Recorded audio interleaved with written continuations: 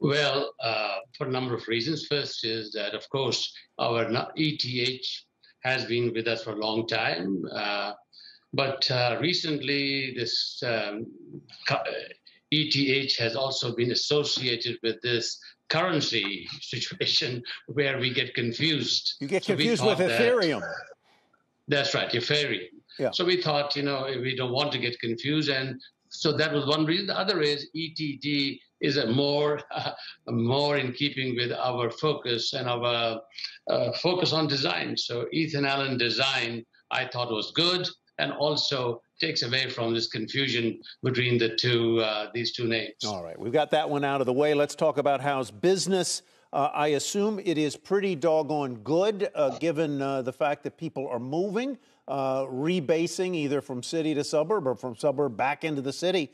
Uh, how's business, and are you, what are you finding in terms of backlogs and bottlenecks in production? Number one, and also rising prices. Yes, you know, of course, as you know, uh, uh, about a year, a little over a year back, uh, when the crisis started, we had to close over 250 locations, uh, furlough over 4,000 people. And then we came back towards the end of the summer.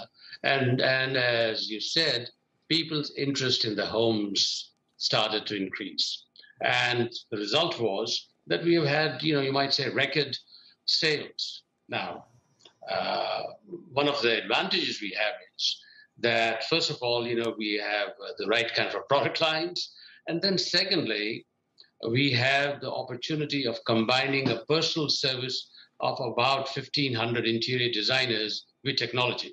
I think if we had not invested in technology like 3D, virtual reality in the last four or five years, we would be in a much more of a difficult position because of the fact that 75% of what we sell is custom made in our workshops in North America. Now, that's quite different from the general industry, where most of the time they at least sell a lot of what they have in stock, not custom. So, custom is tremendously important.